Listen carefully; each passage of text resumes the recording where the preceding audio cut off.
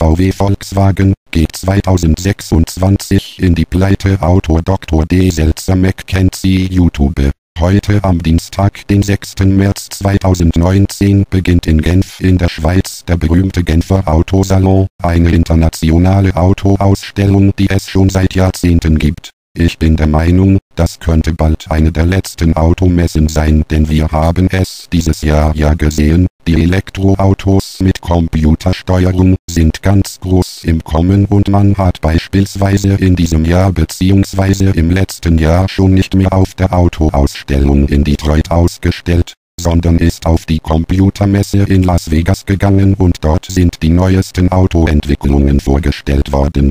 Die Welt zum Thema Auto wird sich bald radikal verändern, weil das Auto der Zukunft eben der Batterieantrieb und das Elektroauto ist. Autos mit Motoren dürften bald endgültig out sein, aber nun stellt auch heute in Genf auf dem Automobilsalon Volkswagen ein ganz neues Konzept für das 21. Jahrhundert vor mit angeblich neuen Elektroautos und neue Entwicklungen wo man ja der Konkurrenz aus Ostasien in Wahrheit um Lichtjahre hinterherhinkt. Ich habe ganz erhebliche Zweifel, dass diese neue Entwicklungen von Volkswagen überhaupt zum Tragen kommen, denn die Konkurrenz aus Ostasien, insbesondere aus China, wird enorm sein. Nehmen wir nur den chinesischen Autokonzern Baiton.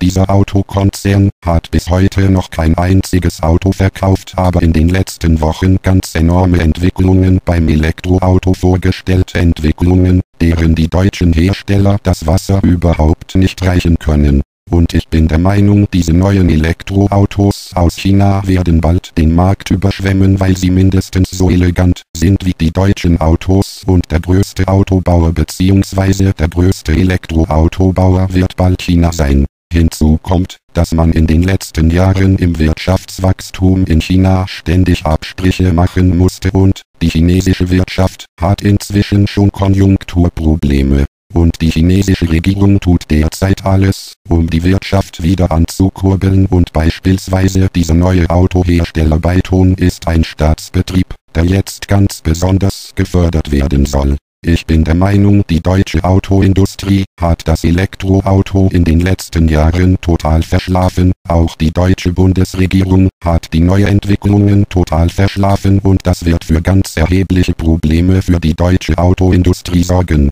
Ich habe bereits vor vier Jahren angekündigt, dass ich den deutschen Autokonzern Volkswagen für nicht überlebensfähig halte, weil man dort die Neuentwicklungen insbesondere zum Elektroauto total verschlafen hat. Und damals hatte man noch nicht einmal den Dieselskandal, der dazu beiträgt, dass Volkswagen in Zukunft immer mehr Marktanteile verlieren wird. Man mag heute in Genf das schönste Zukunftsprojekt vorstellen, aber es wird nichts mehr nützen. Die chinesische Autoindustrie ist der deutschen Autoindustrie um Längen voraus.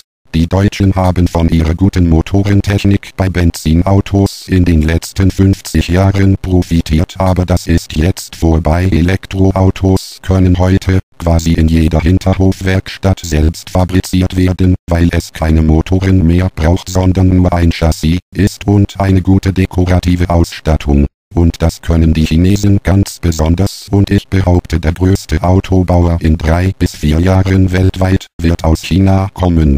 Es ist doch ein Witz, die angeblich so guten deutschen Autos mit ihren komplizierten Benzinmotoren sind viel zu teuer und das wird sich auch bei den neuen deutschen Elektroautos nicht ändern. Die chinesischen Autos hinken in der Ausstattung den deutschen Autos schon überhaupt nicht mehr hinterher, sondern sind genauso modern, brauchen aber eben keine Benzinmotoren mehr und deshalb werden die Chinesen in Zukunft den Automarkt beherrschen. Ich sage, das was ich schon vor Jahren gesagt habe im Jahre 2026 steht für den deutschen Volkswagen-Konzern die Pleite an. Nehmen Sie doch nur als Beispiel im Jahre 1982 dieser damals 150 Jahre alte deutsche Elektrokonzern AEG. Noch ab 1980 hat man immer sehr gute Umsatzzahlen und Zukunftsprognosen Prognosen erstellt und dann im Jahre 1982 war der AEG-Konzern auf einmal pleite. Und genauso ist es mit der deutschen Fernsehserie passiert. Die deutschen Fernseher wie Telefunken, AEG Nordmendel, Grundig und so weiter, waren technisch die besten Fernsehgeräte die es überhaupt gab und dann kommt auf einmal der Plasmafernseher heraus der eben keine komplizierte Röhrentechnik mehr brauchte und dann waren alle diese deutschen Fernsehkonsum pleite. Mit der deutschen Textilindustrie ist es genauso passiert. Bis noch in den 1960er Jahre waren die deutschen Textilien mit das Beste was es weltweit gab und dann sind die ab den 1970er Jahren total verschwunden.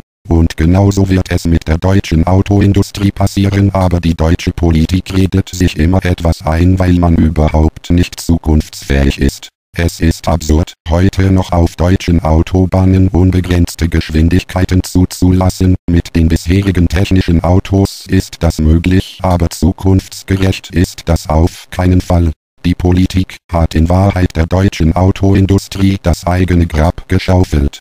Warten wir also das Jahr 2026 ab. Ich behaupte, der Volkswagen-Konzern als derzeit der größte Autobauer der Welt wird im Jahre 2026 spätestens in die Insolvenz gehen müssen.